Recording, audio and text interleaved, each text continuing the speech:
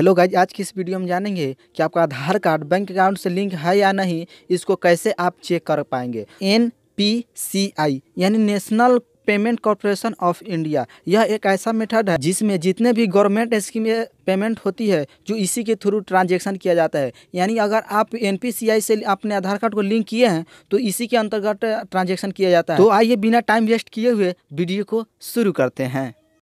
सबसे पहले आपको क्या करना है? क्रोम ब्राउज़र को ओपन कर लेना है। क्रोम ब्राउज़र को ओपन करने के बाद सर्च बार में आप टाइप टाइप करेंगे U I D A I type करके आपको क्या करना है? सर्च कर देना है। करने के बाद यहाँ पे आपको यू आई डी आई का यहाँ पे फ़र्स्ट लिंक आपको देखने को मिल जाएगा। यहाँ पे। इस पर आपको क्या करना है? क्लिक कर देना है। क्लिक करने के बाद आधार कार्ड के ऑफिशियल वेबसाइट पे आप, आधार कार्ड के ऑफिशियल वेबसाइट पे आप चले आएँगे। यहाँ पे आने के बाद थोड़ा सा स्क्रॉल करेंगे। स्क्रॉल करने के बाद आपको यहाँ एक ऑप्शन दिख जाएगा, आधार सर्विसेज़ यहाँ पे ऑप्शन दिख जाएगा, आधार सर्विसेज़ इस पर आपको क्या करना है?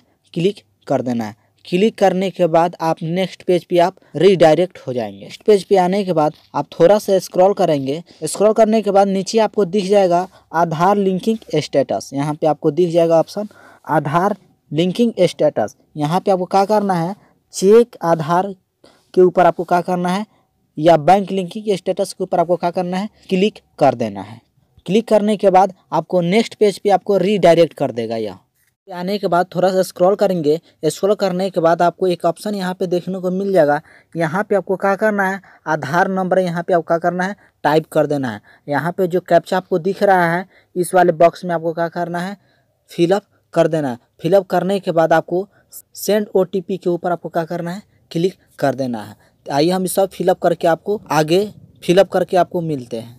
आधार नंबर कैप्चा को यहाँ पे फिलअप करने के बाद सेंड ओटीपी के ऊपर आपको क्या करना है? क्लिक कर देना है।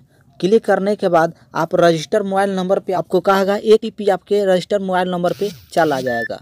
उस ओटीपी को आपको क्या करना है? नीचे आकर के आप यहाँ पे इंटर ओटीपी के ऊपर आपको क्या करना है? इस वाले बॉक्स में आपको ओटीपी को क्या करना है? यहाँ पे फिलअप कर देना है। फिलअप कर देना है। करने के बाद देन उसके बाद आपको क्या करना है? यहाँ पे सबमिट कर देना है। आइए हम ओटीपी को यहाँ पे फिलअप करते हैं। ओटीपी को फिलअप करने के बाद, देन उसके बाद आपको क्या करना है? यहाँ पे सबमिट के ऊपर आपको क्लिक कर देना है। सबमिट के ऊपर क्लिक करने के बाद आपके सामने इस तरह का इंटरफेस आपको देखने को मिल जाएगा। सबमिट करने के बाद आपका यहाँ तुरंत बता देगा कि आपका आधार नंबर, लिंक है या नहीं आपके बैंक में? देखिए, मेरा यहाँ पे सो रहा है your Aadhaar is not link to a bank यानी तुरंत यह बता दिया कि आपका आधार बैंक में लिंक है या नहीं। अगर आपका लिंक रहता तो यहाँ पे आपका शो कर देता कि आपका आधार कार्ड लिंक है। देखिए, आपका आधार लिंक बैंक में नहीं है। तो दोस्तों, इस प्रकार से आप आधार नंबर को चेक कर सकते हैं कि बैंक में लिंक है या नहीं है या NPCI से लिंक है या नहीं।